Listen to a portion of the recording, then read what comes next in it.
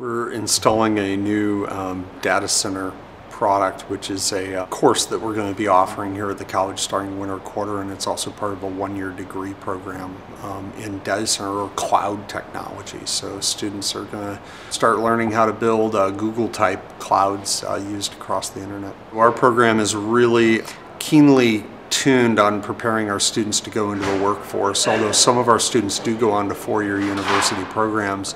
There are 14 10,000 square foot or larger data centers right here in the Portland, Vancouver area. Um, in fact, there's a couple of them in walking distance from the college, and these uh, data centers run 24-7 around the clock um, all year long, and they have to be staffed with students like will graduate from our program. We got some funding from the state, and uh, we were able to buy uh, $300,000 worth of equipment for this new um, program, and we've got some SAN, uh, which are storage area network appliances. So we have two of those.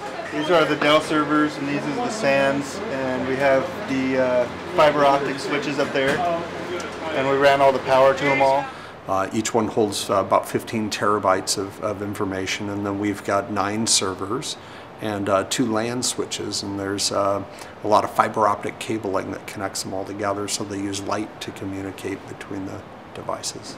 And they're going through um, RAM upgrades. We're upgrading all the PCs with uh, more RAM. We virtualized more than one operating system on the computer, so we've done a RAM upgrade, and we've been doing that in all of our labs. We have uh, nine students that are volunteering their times in unpaid capacity. They're uh, spending their whole week with us, uh, and they've been doing all the work. The, the lab is being entirely rebuilt by them. They are learning a tremendous amount and, uh, and giving a tremendous value to the college. 50% uh, of our training is actually hands-on in the lab, touching and working with the gear. We have eight of the nine servers on right now.